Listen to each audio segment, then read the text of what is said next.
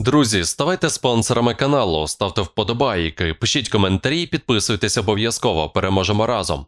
Як було розбито успішний комунікаційний кейс Бахмут від гламурної піарниці Андрія Єрмака Даші Зарівної, пише журналістка Марина Данилюк Ярмолаєва. Пряма цитата командира 3-ї штурмової роти 1-го штурмового батальйону Володимира Фокіна. Фоки із інтерв'ю УП. Битва за Бахмут. Я би повірив, що це реально фортеця Бахмут, що є якийсь реальний план. Якщо б цю фортецю будували, якби будували позиції для захисту, робили в проломах в будівлі, в це б я повірив. Я би навіть повірив у необхідність тримати Бахмут у низині, той, що знаходиться. Якщо 8 місяців на висотках будувались би якісь укріп райони. За 8 місяців там можна було все залізобетоном залити 4 рази. За 8 місяців там би можна було побудувати три китайські стіни. Полковники генерали кажуть, що ми ж там будуємо укріплення. Ну послухайте, траншея, яка вирита екскаватором, це не позиція. Це просто траншея, яку треба дообладнати, зробити бліндажі, доти. Я кажу особисто, це дуже чорний гумор, коли кажуть, що Бахмут тримається. Бахмут тримається до тих пір, поки українці відправляють його тримати. Одна справа гинути за необхідність тримати цей Бахмут, або коли наші хлопці гинуть, коли штурмують або повертати нашу землю під вогневий контроль. Це одне. Гинути в непідготовленому місті це питання за що і навіщо. Варте уваги, бо третя штурмова не вилазить з під того Бахмуту уже багато місяців. І це не вле офіцієл, буси з платями складать, резюмує журналістка. Зазначимо, його рота до 100 осіб не брала участі в наступі на південь від Бахмута, звідки втекла 72-га бригада росіян, але готувалася до нього, а також виконувала технічно нестандартну операцію зі штурму російських позицій на стратегічній висоті біля дороги. Часів яр Хромове Бахмут. У ній взяли участь 32 військовослужбовці з роти Фоки, 4 групи по 8 людей. Кожна група мала свого командира, свій зв'язок та свої очі, тобто дрон, який її супроводжував. Перебування на тій висоті дозволяло росіянам добре проглядати Бахмут, зокрема його західну частину, яку контролюють українські сили оборони. І відповідно сили РФ могли вести прицільний обстріл по дорозі та по місту. Сам Фоко у 2015-2016 роках служив в Азові, а після початку повномасштабного вторгнення пішов у ТРО Азов, яке з часом отримало статус ССО, а в січні 2023-го розширилося до окремої бригади. Як планувалася операція з наступу на ділянці на південь від Бахмута, чи означає це початок великого наступу на східному фронті, а також чому за осінь 2022-го, зиму 2023-го в українській армії фактично просів південний фланг на Бахмутському напрямку.